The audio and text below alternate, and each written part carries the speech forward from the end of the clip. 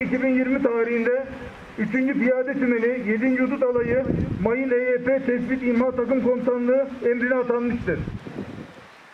Pençe Yıldırım Harekatı kapsamında Kirkarsi Dağı bölgesinde icra edilen operasyon sırasında bulunan EYP'yi imha ederken meydana gelen patlama sonucu 25 Ekim 2021 tarihinde şehit olmuştur.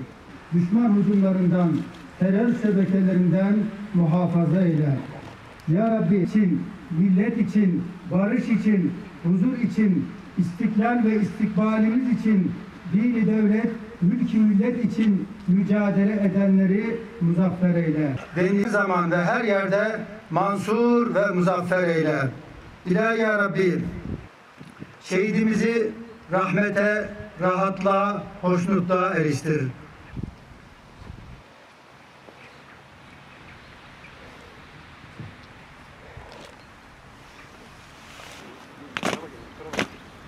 mess up. He'll mess up.